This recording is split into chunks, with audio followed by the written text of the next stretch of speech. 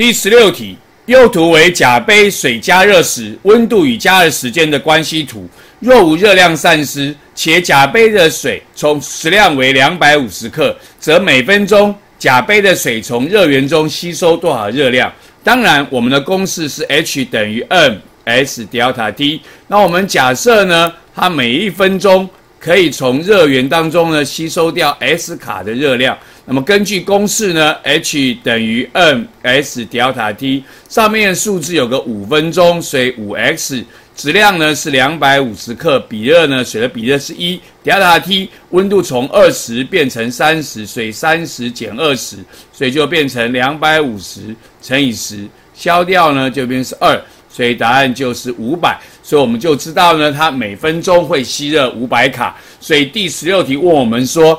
每分钟甲杯的水从热源中吸收多少热量？我们答案呢？选择的是 A，五百卡。